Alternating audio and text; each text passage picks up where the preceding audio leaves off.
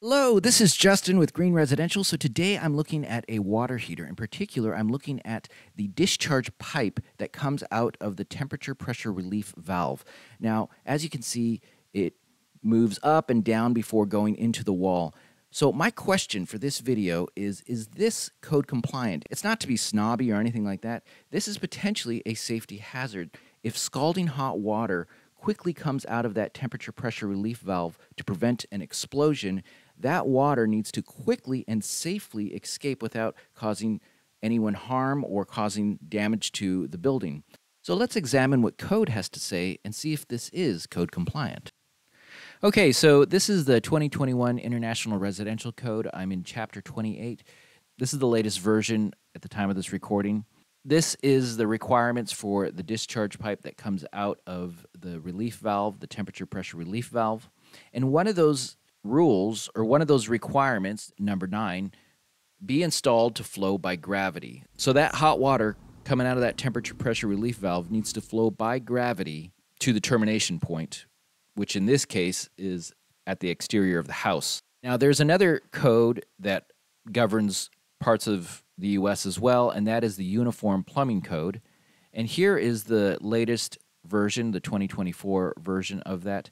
And if we look at number three right here, it says discharge pipe shall discharge independently by gravity through an air gap into the drainage system or outside of the building with the end of the pipe not exceeding two feet and not less than six inches above the ground and pointing downwards. So there we see independently by gravity. Now, there's also over here in the 2021 International Residential Code, it talks about materials which can be used for this pipe. And if you go over here, P2906.5, we see a list of different materials that are, allowed, such as CPVC, copper, galvanized steel pipe, but we do not see PVC. And that's because PVC cannot handle that hot water. Now, the UPC code also has stipulations on what type of piping is used. So, this drain line should never be PVC.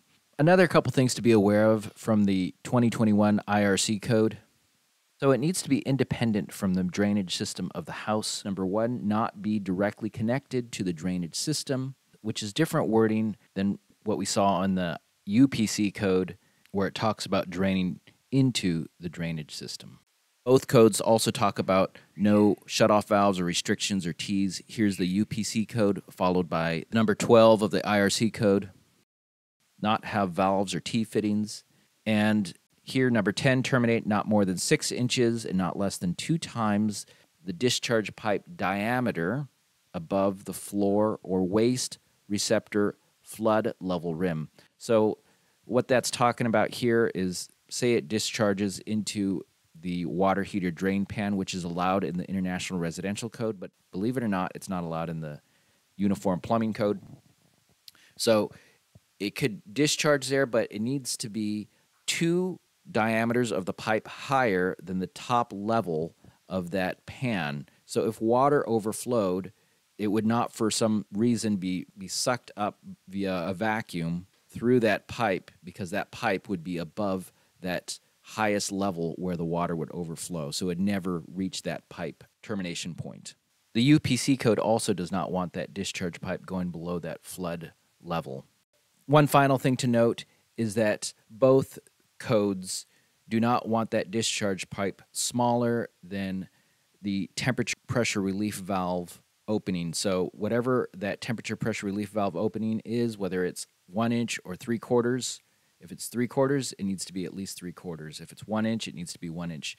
It should not be smaller than three quarters of an inch, though.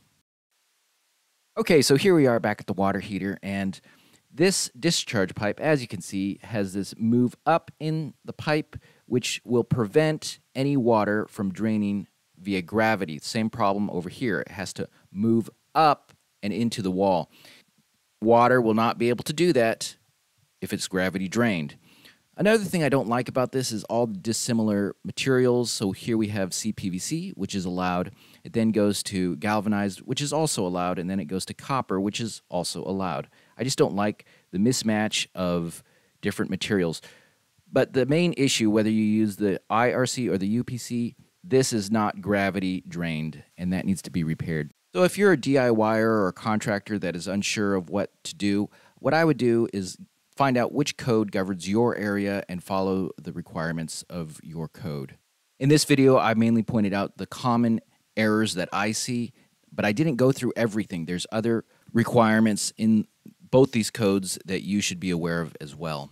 Well, I hope this video was informative and helpful. If you did find it helpful, it'd be much appreciated if you hit that thumbs up button. And if you would like to find out more information like this, we put out videos like this on a regular basis, which cover code, simple repairs that many homeowners can do themselves, and just general house knowledge.